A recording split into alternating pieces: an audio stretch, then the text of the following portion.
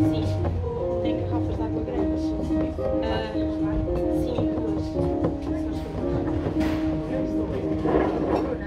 sim, duas.